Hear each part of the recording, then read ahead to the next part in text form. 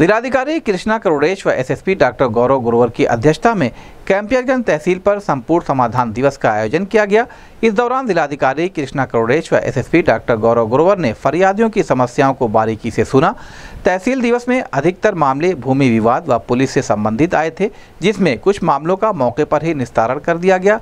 जिन मामलों का मौके पर निस्तारण नहीं हो पाया, उन मामलों को पुलिस व राजस्व टीम गठित कर मौके का मुआयना कर निस्तारण के निर्देश दिए गए। इस अवसर पर कैंपियरगंज विधायक फतेह बहादुर सिंह सहित अन्य अधिकारी मौजूद रहे।